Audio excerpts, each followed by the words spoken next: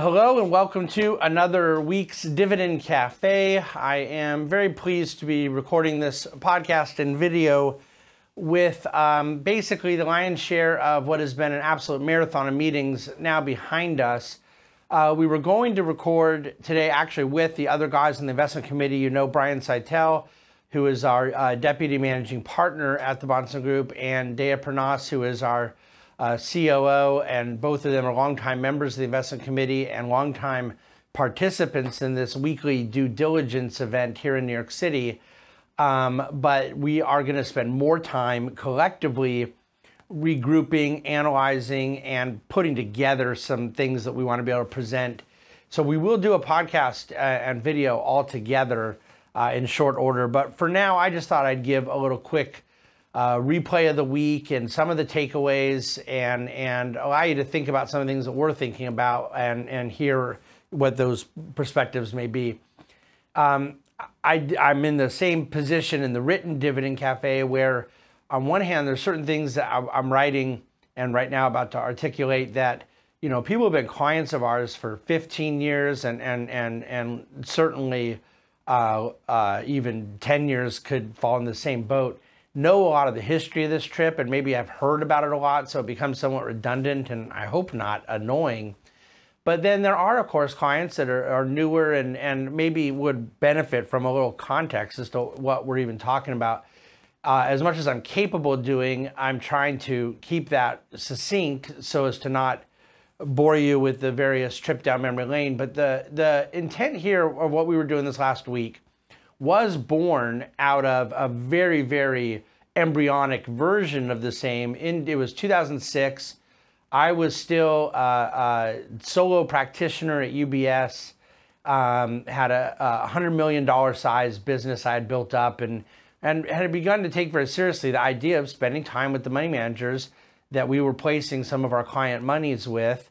Um, ironically, I was out in New York because I was meeting with Bear Stearns and Morgan Stanley and some other Wall Street firms that were recruiting me to maybe move my business to theirs at the time. Obviously, those who know the story know that uh, uh, four, five, six months later, I did end up moving to Morgan Stanley and not Bear Stearns. Um, but regardless, I on that trip spent some time with some of the various managers that we had client money with, and, and it was just incredibly beneficial. And to be able to sit down and then talk to clients and say, look, we met with this manager and here's what they're saying and here's why this happened and what we're doing and so forth.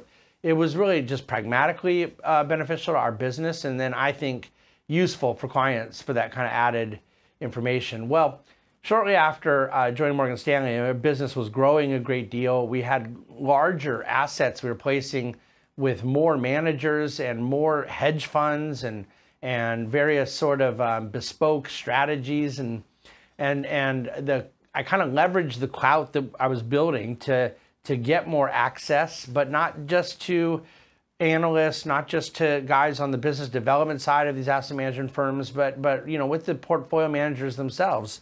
And in some cases, uh, this might have happened a little bit later, but you know the actual kind of senior uh, name name brand guys, so to speak, behind some of the main hedge funds.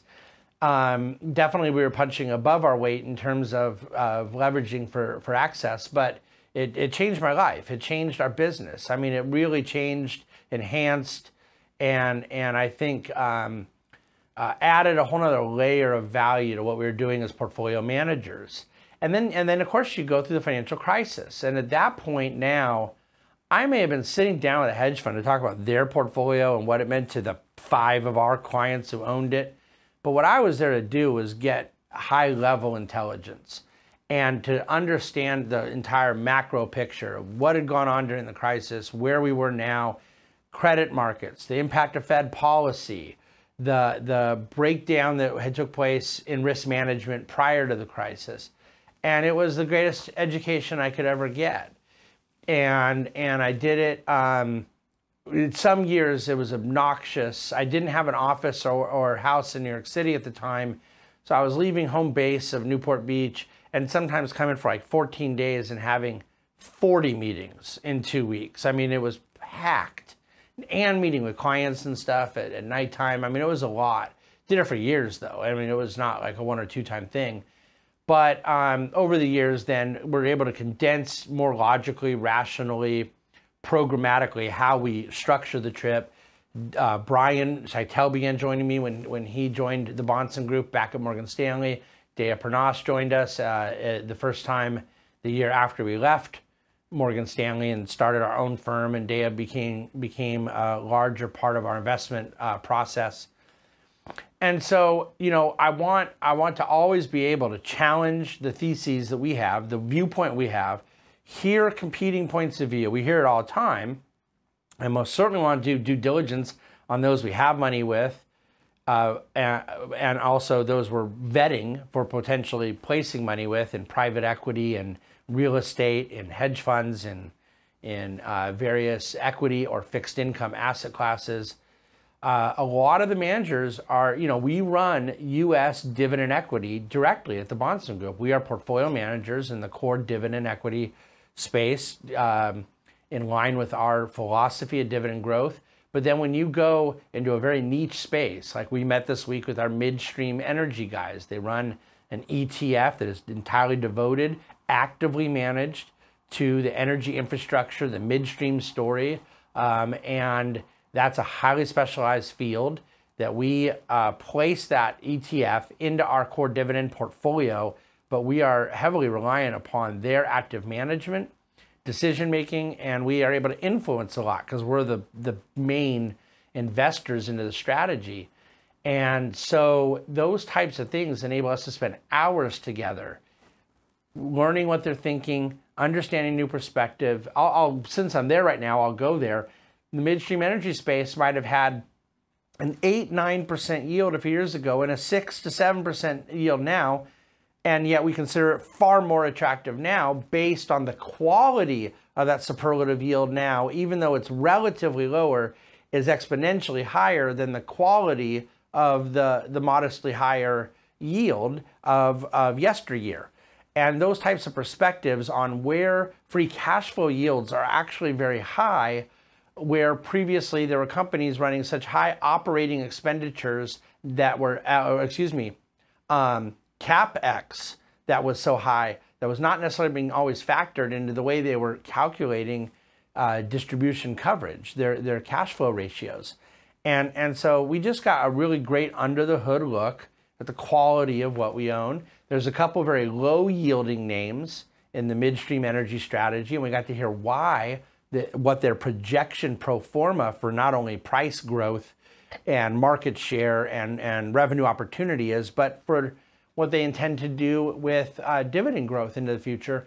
These are things that are just absolutely invaluable to us. And we did spend quite a bit of time talking about China this week, as you could imagine, um, with bond managers with um, emerging debt managers, with emerging equity managers, and with um, a couple different macro economists that are analysts from a global macro standpoint, not particularly engaged in a security selection or portfolio allocation, but providing broad, high level overview. You, you recall I had Louis Gave on a couple weeks ago. Uh, I often will quote in DC Today uh, Renee Ananow from Corbu um, these are these are people that we are able to sit with and just get a lot of information from perspective, and and and challenge our thesis, which we did. And you guys are aware from other dividend cafes, we are of the belief that there's a whole lot of China that is totally uninvestable, totally uninteresting to us, very high risk. There's an entire is- issue of China just in terms of geopolitical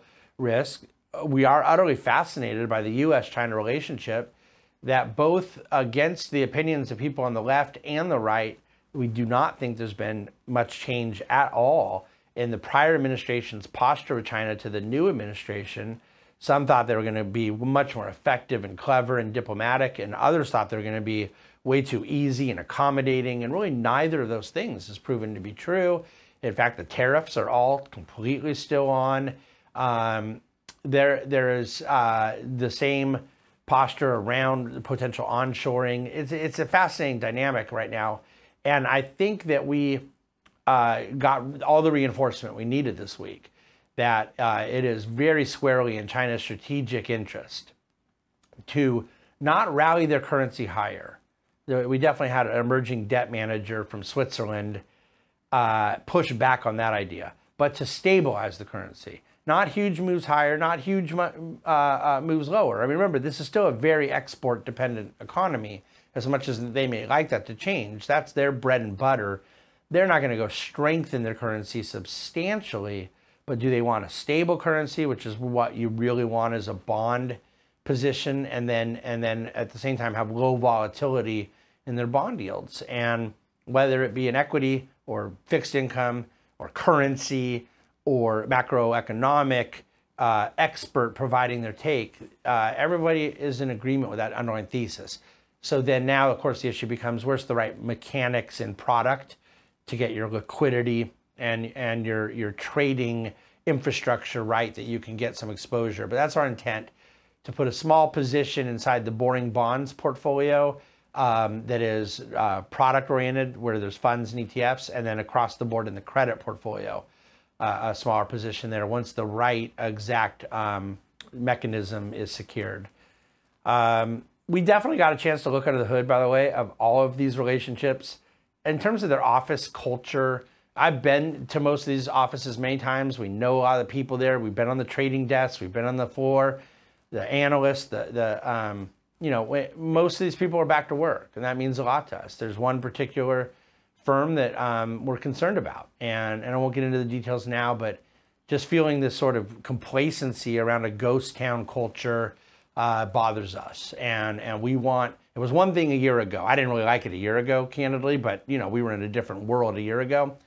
At this point right now, not only do I feel strongly about the social responsibility of re-engaging economic activity, but uh, there's uh, a various mentality that is indicative to me of a culture uh, where we want to be invested. And, and so we have a decision to make there in one particular case.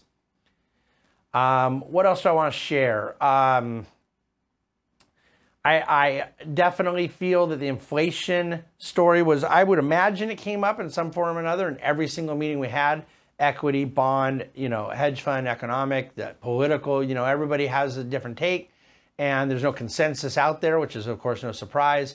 Some that are in my camp that there's absolutely price inflation taking place in certain targeted sectors that are most impacted by supply disruption, but that the Fed is somewhat impotent in being able to create the inflation that many fear. Others believe no, the Fed is actually responsible with inflation. Others don't agree with that, but do agree with another part. You know, so there's a lot of different. This is something I've been harping on all year. There's a lot of nuances in that subject, and those nuances are evident when you have 20 something meetings. Um, but our view around it, I think, is is very important.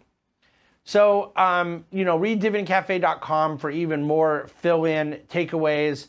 There will be some modest portfolio in, uh, changes coming. We're going to, for those clients that have the income enhancement sleeve we manage, we're going to be increasing um, some exposure to the emerging dividend um, uh, strategy that we utilize there. Uh, we maintain a firm position in being bottom up oriented investors from our small cap partners to our emerging equity partners to our our midstream, to, to of course, what we do in, inside core dividend growth. Uh, we, we care about asset classes, we care about sectors, we care about global positioning, but fundamentally, we want investment decisions being made by bottom up. Uh, that means everyone has to work hard. That means everyone has to be research intensive. And we are just absolutely as convinced as ever that there is incredible value and the due diligence that comes from a research intensive approach to portfolio management. We think that applies, by the way, in structured credit as well. It applies in high yield fixed income. In, all these areas where credit spreads are so tight, and that means risk is higher. It means there's more fragility, more exposure to volatility. The, one of the great hedges, one of the great um, uh, strategies one can utilize to deal with the nature of asset prices right now is bottom up research orientation. That's what we're committed to across the board. Um, finally, the theme I, I, forgot to mention, but is probably the number one theme that I would take away from this week is uh, just enhanced. Um, if I could triple down on illiquidity. Uh, look, some people have a, a, bandwidth for more illiquidity than others. Some people candidly don't have a bandwidth for any illiquidity. But what I mean is the investment opportunity that exists in private debt, private equity, or real estate or strategies that do not allow people access to money, that do not have the burdens of daily mark to market. Um, we think there are behavioral and there are investment advantages where there is illiquidity, as long as that illiquidity is found intelligently and the right vetting and, and procedural um, issues have been have been dealt with. That's that's our job. That's what we do. Uh, but of course, you lose, you know, leverage collateral for credit lines. You you lose literally withdrawal capacity from a liquidity standpoint. So there's no free lunch.